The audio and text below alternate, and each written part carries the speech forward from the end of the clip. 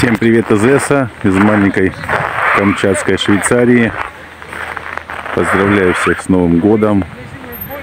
Прежде всего, конечно же, в Новом году здоровья желаю всем и каждому.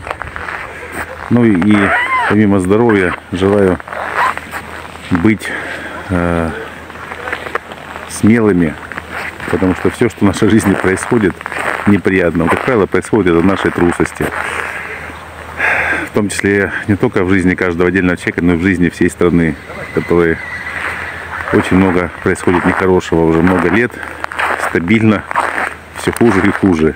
Вот поэтому я считаю, что это все из-за того, что мы боимся, из-за того, что боимся говорить, высказывать свою точку зрения, э, отстаивать свои права по-настоящему. Хотелось бы, чтобы в новом году так не было, было бы все по-другому.